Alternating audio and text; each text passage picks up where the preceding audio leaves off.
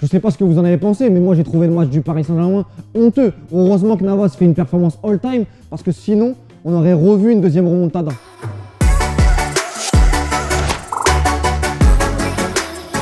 L'homme du match, Kélan Navas, t'as été monstrueux ce soir. T'as fait rêver tous les supporters du Paris Saint-Germain. Heureusement que tu as été là. On a vu la différence entre la remontada en 2017 et ce soir. Plus de 9 arrêts dans la rencontre. T'as été déterminant. Penalty, la frappe de Dest sur la barre, sur ta ligne. Ça fait du bien d'avoir un très très grand gardien côté Paris Saint-Germain. Et ce soir, heureusement que tu as été là parce que sinon, le PSG aurait été très très très proche de subir une énième remontada. La prestation du PSG a été honteuse de la première à la dernière minute. On a revu les fantômes de la remontada 2017. Heureusement qu'il y a eu Kyler Navas parce que sincèrement les gars, vous êtes passés complètement à côté. 9 tirs, concédés 9 tirs en première mi-temps. Jouer aussi bas. Les gars, vous pouvez vraiment remercier Kyler Navas parce que sans lui, on aurait eu encore une humiliation incroyable côté parisien. Comment ça se fait? Comment avec 4 buts d'avance, on joue aussi bas? Comment on concède autant d'occasions, que ce soit le penalty, euh, les, les, multiples occasions de Dembélé? Et heureusement que le Barça n'a pas été lucide. Parce que dans une compétition pareille, quand tu éteins la lumière pendant 30 minutes, tu retrouves pas ton téléphone. Et ce soir, heureusement, heureusement que les Barcelonais ont été imprécis dans la surface de réparation adverse, parce que sinon le tirage au sort des quarts de finale, vous l'auriez tous vu au centre d'entraînement. Côté Barcelone, j'ai vraiment vraiment bien aimé euh, tout ce qu'ils ont fait collectivement, mais il y a un joueur qui m'a impressionné, un joueur qui m'avait beaucoup déçu à l'aller, c'est Sergio Busquets. Sergio Busquets, a été incroyable, notamment au premier mi-temps, que ce soit dans le pressing, dans la capacité à jouer euh, avec le ballon, à faire jouer les autres.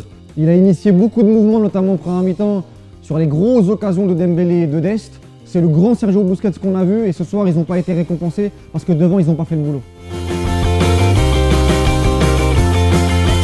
Ousmane Dembélé en flop parce que tu as mangé la feuille, Ousmane, à plusieurs reprises. La double, même l'intercalaire et le classeur. Ce soir, tu as été plutôt intéressant euh, dans ce rôle de numéro 9 pour mettre en danger euh, le Paris Saint-Germain. Mais quand tu as autant d'occasions dans un rendez-vous pareil, c'est pas possible. Une, ok. Deux, ok.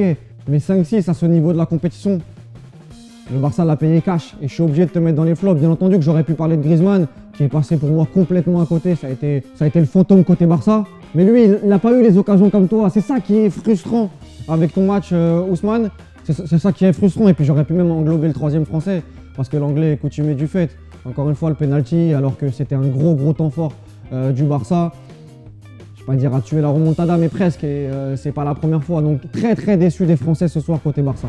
J'aurais aussi pu mettre Messi. Tu nous as fait rêver. Moi, j'ai crié sur le but, incroyable la frappe. Il fallait bien ça pour faire mal à Keller Navas ce soir, tellement il était monstrueux. Mais derrière le pénalty raté, plus la grosse occasion sur Alba et la deuxième mi-temps, je peux pas te mettre dans les tops, euh, Léo, malheureusement. Côté PSG, j'aurais pu prendre pas mal de joueurs, mais je voulais retenir quand même euh, Kurzawa, Levin.